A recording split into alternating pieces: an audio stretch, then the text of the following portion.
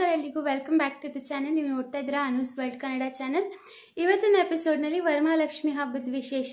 Single ಬೆಂದಿಗೆಗೆ ಅಂದರೆ ಒಂದು ಬೆಂದಿಗೆಗೆ ಸೀರೆ ಹೇಗೆ ಉಡ್ಸ್ಕೋಬೋದು ಅನ್ನೋಂಥ ವಿಡಿಯೋ ಶೇರ್ ಮಾಡ್ತಾ ಇದ್ದೀನಿ. ಬ್ಲೌಸ್ ಪೀಸ್ ಅಥವಾ ಬೇರೆ ಯಾವುದೇ ರೀತಿ ಆಕ್ಸೆಸರೀಸ್ ಯೂಸ್ ಮಾಡಿದೆ. ಜಸ್ಟ್ ಒಂದು ಸೀರೆ, ಬೆಂದಿಗೆ ಮತ್ತು ಒಂದು ಪೈಪ್ ಇದನ್ನು ಯೂಸ್ ಮಾಡ್ಕೊಂಡು ಹೇಗೆ ಉಡ್ಸೋದು ಅಂತ.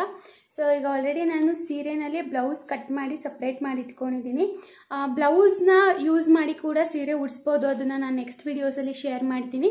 ಸದ್ಯಕ್ಕೆ ಸಿಂಗಲ್ ಬಿಂದಿಗೆಗೆ ಸಿಂಪಲಾಗಿ ಯಾವ ಥರ ಸೀರೆ ಉಡ್ಸ್ಕೋಬೋದು ಅನ್ನೋದನ್ನು ಶೇರ್ ಮಾಡ್ತೀನಿ. ಸೊ ಬನ್ನಿ ಹಾಗಿದ್ರೆ ಇವತ್ತಿನ ವಿಡಿಯೋ ಸ್ಟಾರ್ಟ್ ಮಾಡೋಣ. ಅದಕ್ಕಿಂತ ಮುಂಚೆ ಹೊಸದಾಗಿ ನೋಡ್ತಾ ಸಬ್ಸ್ಕ್ರೈಬ್ ಮಾಡ್ಕೊಂಡು ನೋಡಿ. ಹಾಗೆ ಪಕ್ಕದಲ್ಲೇ ಕಾಣ್ತಾರಂತ ಐಕಾನ್ ಪ್ರೆಸ್ ಮಾಡಿ. ವಿಡಿಯೋ ಇಷ್ಟ ಆಯ್ತು ಅಂದರೆ ಲೈಕ್ ಮಾಡಿ ಶೇರ್ ಮಾಡಿ. ವಿಡಿಯೋ ಬಗ್ಗೆ ನಿಮ್ಗೆ ಏನಾದರೂ ಡೌಟ್ಸ್ ಇದ್ರೆ ಕಮೆಂಟ್ ಸೆಕ್ಷನಲ್ಲಿ ಹೇಳ್ಬೋದು. ಸೊ ಇವಾಗ ಮೊದಲಿಗೆ ಸೀರೆನ ನರ್ಗೆ ಮಾಡ್ಕೊಳ್ಳೋಣ. ಆಮೇಲೆ ಸೀರೆ ಉಡ್ಸೋದಕ್ಕೆ ಸ್ಟಾರ್ಟ್ ಮಾಡ್ತೀನಿ. ಸೊ ಬನ್ನಿ. ಮೊದಲಿಗೆ ಸೀರೆ ಸೆರಗಿನ ಭಾಗ ತಗೋತಾ ಇದ್ದೀನಿ. ಯುಶಲಾಗಿ ವರಮಹಾಲಕ್ಷ್ಮಿ ಹಬ್ಬಕ್ಕೆ ಸೀರೆ ಉಡಿಸುವಾಗ ಕಪ್ಪು ಬಣ್ಣದ್ದು ಬಿಟ್ಟು ಬೇರೆ ಯಾವುದೇ ಸೀರೆಗಳನ್ನ ಉಡಿಸ್ಬೋದು. ಸೊ, ನಾನಿಲ್ಲಿ ಆರೆಂಜ್ ಕಲರ್ ತೊಗೊಂಡಿದ್ದೀನಿ. ಯಾವುದೇ ಕಲರ್ ಉಡ್ಸ್ಕೋಬೋದು ಅಥವಾ ಕಪ್ಪು ಬಣ್ಣದ ಹೊರತುಪಡಿಸಿ ಯಾವುದಾದ್ರೂ ಉಟ್ ಉಡಿಸ್ಬೋದು. ಮೇಯ್ನ್ಲಿ ವರ್ಮಾಲಕ್ಷ್ಮಿ ಹಬ್ಬಕ್ಕೆ ಕೆಂಪು ಅಥವಾ ಹಸಿರು ಬಣ್ಣದ್ದು ತುಂಬ ಒಳ್ಳೆಯದು ಶ್ರೇಷ್ಠ ಅಂತ ಹೇಳ್ತಾರೆ. ಸೊ ಇಲ್ಲಿ ನಾನು ಮೊದಲಿಗೆ ಸೀರೆ ಸೆರ್ಗ್ ಮಾಡ್ಕೋತಾ ಇದ್ದೀನಿ. ಯಾವುದೇ ಕಾರಣಕ್ಕೂ ಸೀರೆನ ಹೊಲ್ಸಿರಬಾರ್ದು, ಅಂದರೆ ಸ್ಟಿಚ್ ಮಾಡಿಸ್ತಾ ಇರೋಂಥ ಸೀರೆನ ಉಪಯೋಗಿಸ್ಬೇಕಾಗತ್ತೆ. ಸೊ ಇಲ್ಲಿ ನಾನು ಪಲ್ಲು ಪಾರ್ಟ್ ನೋಡಿಕೊಂಡು, ಅಂದರೆ ಕೆಳಗಡೆ ಯಾವ ಭಾಗ ಬರುತ್ತೆ, ಮೇಲೆ ಯಾವ ಭಾಗ ಬರುತ್ತೆ, ಆ ಥರ ನೋಡಿಕೊಂಡು ಸೀರೆ ಸೆರಗನ್ನು ಮಾಡ್ಕೋತಾ ಇದ್ದೀನಿ. ನೀವು ವರಮಹಾಲಕ್ಷ್ಮಿ ಬಿಂದಿಗೆ ಕಟ್ಟುವಂಥ ಪೈಪ್ ಅಥವಾ ಕಡ್ಡಿ, ಸ್ಕೇಲು, ಅದರದ್ದು ಭಾಗ ಎಷ್ಟು ಅಳತೆ ಅಷ್ಟು ನೋಡಿಕೊಂಡು ನೀವು ಸೆರಗನ್ನು ಮಾಡ್ಕೋಬೇಕಾಗತ್ತೆ. ಜೊತೆಗೆ ನೀವು ಬಿಂದಿಗೆ ಯಾವ ಸೈಜ್ ಇಟ್ಟಿದ್ದೀರಾ, ಆ ಸೈಜ್ನಷ್ಟು ಅಷ್ಟು ಮಾರಷ್ಟು ಸೆರಗನ್ನು ಬಿಟ್ಕೋಬೇಕಾಗತ್ತೆ. ಹಿಂಭಾಗದಿಂದ ಬಂದು ಮುಂದೆ ಪಲ್ಲು ಥರ ಬರಬೇಕು. ಆ ಥರ ನೀವು ನೋಡಿಕೊಂಡು ಸುಮಾರು ಒಂದು ಮಾರ್ ಬೇಕಾಗತ್ತೆ ಅಷ್ಟು ಮಾಡ್ತೀನಿ ಅಂತ ಹೇಳಿದ್ರೆ. ಸೊ ಅಷ್ಟು ಅಳತೆ ನೋಡ್ಕೊಂಡು ನೀವು ಸೆರ್ಗನ್ನ ಮೊದಲಿಗೆ ಪಿನ್ ಮಾಡ್ಕೋಬೇಕು. ಸೊ ಈ ಥರ ಪಿನ್ ಮಾಡ್ಕೊಳ್ಳೋದ್ರಿಂದ ಸೆಕ್ಯೂರ್ ಆಗಿರುತ್ತೆ. ಅದು ಆ ಕಡೆ ಈ ಕಡೆ ಅಲ್ಗಾಡಲ್ಲ, ತುಂಬ ಚೆನ್ನಾಗಿ ಕೂತ್ಕೊಳ್ಳುತ್ತೆ. ನಾವು ಯಾವಾಗ ಅದನ್ನು ಓಪನ್ ಮಾಡ್ತೀವೋ ಅಲ್ಲಿವರೆಗೂ ಅದು ಸ್ಟಿಫಾಗೇ ಇರುತ್ತೆ. ಸೀರೆ ಉಡಿಸುವಾಗ ತುಂಬ ಏನು ಗಲ್ಬೇಲಿ ಆಗಲ್ಲ. ನಾವು ಯಾವಾಗ ಓಪನ್ ಮಾಡ್ತೀವೋ ಅಲ್ಲಿವರೆಗೂ ಹಾಗೆ ಇರುತ್ತೆ. ಯಾವ ಕಡೆ ಇಟ್ಟಿರ್ತೀವೋ ಹಾಗೆ ಇರುತ್ತೆ ಅಂತ ಹೇಳ್ಬೋದು.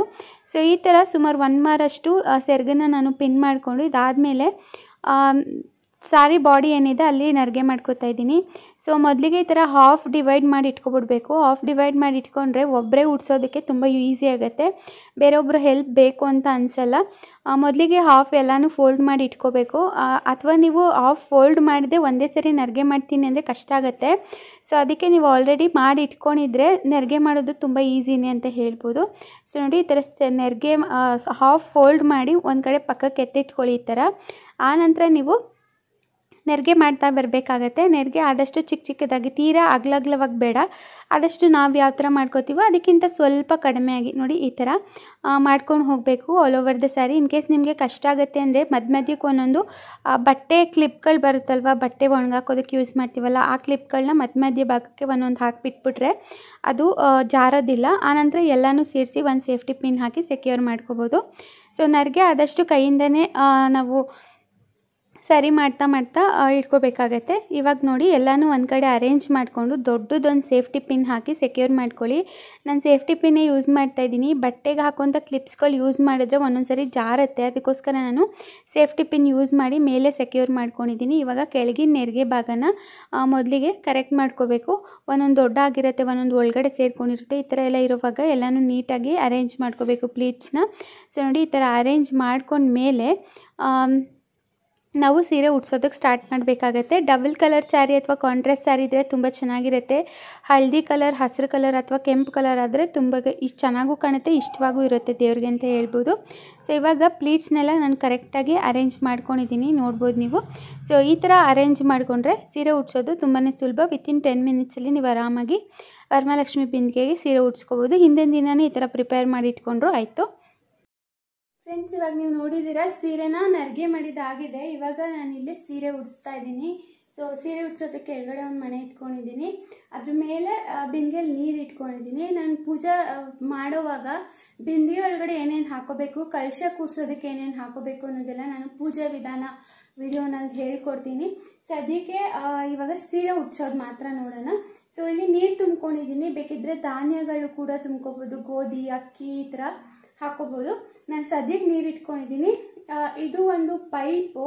ನೀವು ಬೇಕಿದ್ರೆ ಸ್ಕೇಲ್ ಇರುತ್ತಲ್ವ? ವುಡನ್ ಸ್ಕೇಲ್ ಅದು ಕೂಡ ತಗೋಬೋದು ಅಥವಾ ಹ್ಯಾಂಗರ್ನ ಟ್ವಿಸ್ಟ್ ಮಾಡಿ ಯೂಸ್ ಮಾಡ್ಬೋದು. ನಾನು ಇದು ಎಲೆಕ್ಟ್ರಿಕ್ ಪೈಪ್ ಇದು ಇದನ್ನು ತಗೊಂಡಿದ್ದೀನಿ ಸೊ ಇದಕ್ಕೆ ಮಧ್ಯಭಾಗದಲ್ಲಿ ದಾರ ಕಟ್ಕೊಂಡಿದ್ದೀನಿ ನಾನು ಪ್ರತಿ ವರ್ಷ ವರಮಹಾಲಕ್ಷ್ಮಿ ಹಬ್ಬಕ್ಕೆ ಇದೇ ದಾರ ಯೂಸ್ ಮಾಡ್ತೀನಿ.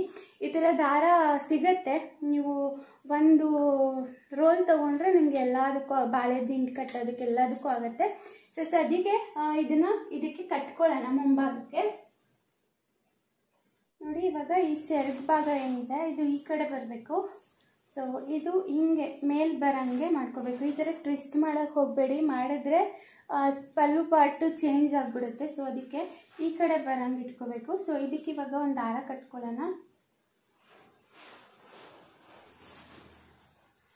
ಇವಾಗ ನೋಡಿ, ನಾನು ದಾರ ಕಟ್ಕೊಂಡಿದ್ದೀನಿ. ಈ ಥರ ಕಟ್ಕೊಂಡಿರೋಂಥದ್ದನ್ನ ಬಿಂದಿಗೆ ಬಾಯಿಗೆ ಕಟ್ಟಬೇಕು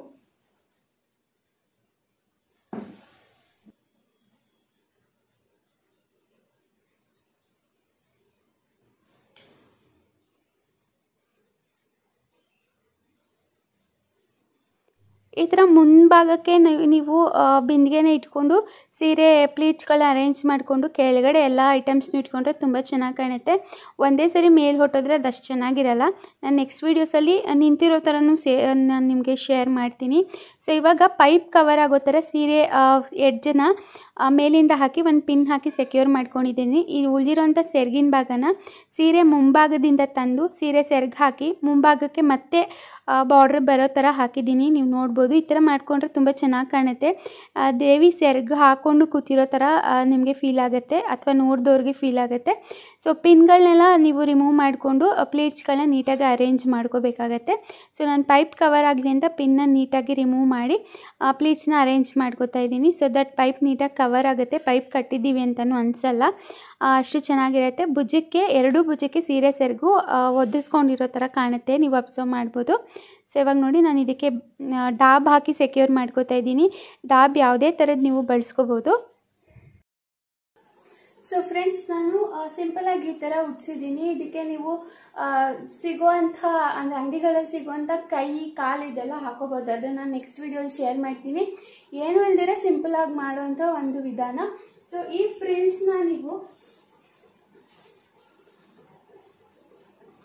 ಸೊ ನೆರಿಗೆಗಳನ್ನ ಚೆನ್ನಾಗಿ ಕಾಣಬೇಕು ಅಂದರೆ ಸೊ ಈ ಥರ ತೆಗೆದು ಎರಡೆರಡು ನೆರಿಗೆಗೆ ಗುಂಡು ಪಿನ್ನ ನೀವು ಹಾಕೋಬೋದು.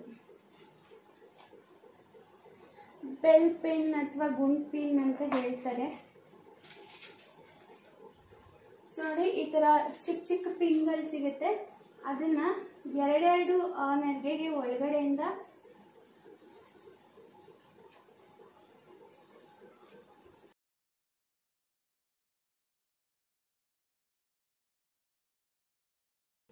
ನೋಡಿ ಈ ಥರ ಹಾಕ್ಬಿಟ್ಟು ಬಿಟ್ರೆ ಅದು ಸ್ಟಿಫ್ ಆಗಿ ಕಾಣುತ್ತೆ. ಈ ಥರ ಯಾವುದೇ ಥರ ಸೀರೆ ಉಡ್ಸಿದ್ರು ಅಷ್ಟೇ, ನೀವು ನೆರಿಗೆಗಳನ್ನ ಅರೇಂಜ್ ಮಾಡಿದ್ರೆ ಅಷ್ಟೇ ಲಕ್ಷಣವಾಗಿ ಕಾಣುತ್ತೆ. ಎರಡೆರಡು ನೆರಿಗೆಗಳಿಗೆ ಒಂದೊಂದು ಸೇ, ಗುಂಡ್ ಪಿನ್ ಅಂತಾರಲ್ಲ, ಅದನ್ನು ಹಾಕಿ ಸೆಕ್ಯೂರ್ ಮಾಡಿದರೆ ಅಗ್ಲವಾಗೂ ಕಾಣುತ್ತೆ. ಹಾಗೆ ನೆರಿಗೆ ನೀಟಾಗಿ ಹಾಗೆ ಇದೆಯೇನೋ ಅನ್ನೋ ಥರ ಕಾಣುತ್ತೆ. ಗುಂಡ್ ಪಿನ್ನು ಬೇರೆಯವ್ರಿಗೆ ಕಾಣಲ್ಲ, ಅಷ್ಟು ಚಿಕ್ಕದಾಗಿರುತ್ತೆ. ಸೊ ಎರಡೆರಡಕ್ಕೆ ಮಾತ್ರ ಹಾಕೊಳ್ಳಿ. ಜಾಸ್ತಿ ಜಾಸ್ತಿ ಹಾಕೊಂಡ್ರೆ ಇದು ಸೀರೆ ಭಾರ ಆಗಿ ಕೆಳಗಡೆ ಬೀಳೋ ಚಾನ್ಸಸ್ ಇರುತ್ತೆ. ಅಂದರೆ ಸೀರೆ ಸೆರಗು ಮಾತ್ರ. ಸೊ ಆದಷ್ಟು ನೀವು ಎರಡೆರಡಕ್ಕೆ ಸೇಫ್ಟಿ ಪಿನ್ನು ಅಥವಾ ಗುಂಡ್ ಪಿನ್ನು ಹಾಕಿ ಸೆಕ್ಯೂರ್ ಮಾಡೋದ್ರಿಂದ ಸ್ಟಿಫಾಗಿ ಕೂತ್ಕೊಳ್ಳುತ್ತೆ, ಚೆನ್ನಾಗಿ ಕೂಡ ಅನಿಸುತ್ತೆ.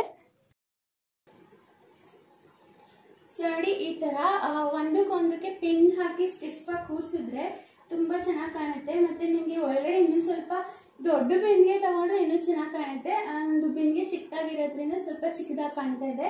ನಿಮಗೆ ತುಂಬ ದೊಡ್ಡದಾಗಿ ಇಡಬೇಕು ಅಂದರೆ ದೊಡ್ಡ ಬೆನ್ಗೆ ತಗೊಳ್ಳಿ. ಜೊತೆಗೆ ಇಲ್ಲಿ ಒಳಗಡೆ ಭಾಗ ಏನಿರುತ್ತೆ, ಇಲ್ಲಿ ನ್ಯೂಸ್ ಪೇಪರ್ಗಳನ್ನ ಉಂಡೆ ಥರ ಮಾಡಿ ಸ್ಟಿಫಾಗಿ ತುಂಬಿ ಕೂರಿಸ್ಬೋದು. ಸೊ ನಾನು ನೆಕ್ಸ್ಟು ಪದ್ಮಾಸನದಲ್ಲಿ ಕೂತಿರೋಂಥದ್ದು ಅದನ್ನೆಲ್ಲ ಶೇರ್ ಮಾಡ್ತೀನಿ, ಹೀಗೆ ನೋಡ್ತಾ ಇರಿ. ಸೊ ಇದಕ್ಕೆ ಇವಾಗ ನಾವು ಜ್ಯುವೆಲ್ರೀಸ್ ಹಾಕೋಣ. ನಾನಿಲ್ಲಿ ಸೀರೆ ಉಡ್ಸೋದು ಮಾತ್ರ ತೋರಿಸ್ತಾ ಇರೋದ್ರಿಂದ ಮುಖವಾಡ ಏನು ಫಿಕ್ಸ್ ಮಾಡಿಲ್ಲ. ನೀವು ದೇವ್ರಿಗೆ ಕೂರಿಸುವಾಗ ಮುಖವಾಡ ಎಲ್ಲ ಫಿಕ್ಸ್ ಮಾಡ್ಕೋಬಹುದು. ಇವನ್ ಎಲ್ಲರೂ ಮಾಡ್ತಾರೆ ಕೂಡ. ಸೊ ನಾನು ಇದಕ್ಕೇನೆ ಜ್ಯುವೆಲ್ರೀಸ್ ಹಾಕ್ಬಿಟ್ಟು ತೋರಿಸ್ತಾ ಇದ್ದೀನಿ. ಎಷ್ಟು ಚೆನ್ನಾಗಿ ಕಾಣುತ್ತೆ ಅಂತ. ಸಿಂಪಲಾಗಿ ಈ ಥರ ಟೈಮ್ ಇಲ್ಲದಾಗ ಮಾಡ್ಕೋಬೋದು ವಿತಿನ್ ಫಿಫ್ಟೀನ್ ಮಿನಿಟ್ಸಲ್ಲಿ ನೀವು ಆರಾಮಾಗಿ ಸೀರೆ ಉಡ್ಸ್ಕೋಬೋದು ಆ, ಬೆಳಗ್ಗೆ ಎದ್ದು ಮಾಡ್ಕೊಂಡ್ರು ಆಯಿತು ಅಥವಾ ಹಿಂದಿನ ದಿನವೇ ನೀವೆಲ್ಲ ರೆಡಿ ಮಾಡ್ಕೊಂಡು ಮಾಡಿದ್ರು ಆಯಿತು. ಆಗಿ ಒಂದೇ ಒಂದು ಬಿಂದಿಗೆಗೆ ಬೇಗ ಸೀರೆ ಉಡ್ಸೋವಂಥ ವಿಧಾನ ಇದಾಗಿರುತ್ತೆ.